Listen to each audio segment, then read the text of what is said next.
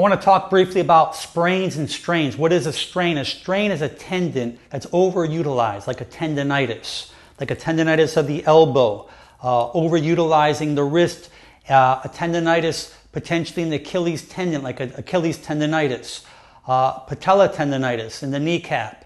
A sprain has nothing to do with muscles. A sprain has to deal with ligaments. Ligaments connect bone to bone. So, whenever you have a force that's greater than what the body can withstand, if you hurt the ligament, you call it a sprain. It could be a, a, mild, moderate, or severe.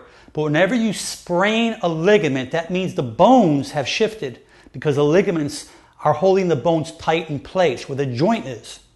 Whenever you sprain something, you always strain something as well because as you hurt the ligament, you're always potentially going to hurt the tendon or tear the muscle as well.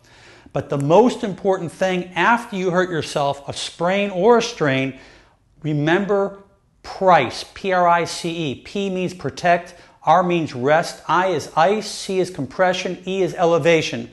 Always use ice after. Never put ice directly on the skin. Use a median like a paper towel so you don't burn the skin, even though you can get frostbite, but you won't feel it because it does work as an anesthetic where it makes the skin skin numb.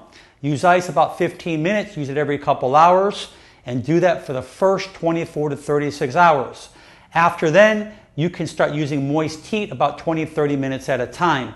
Ice is always the safest thing to put on any kind of injury because ice will never make the problem worse. Make it a great day. I'm Dr. Alan Mandell.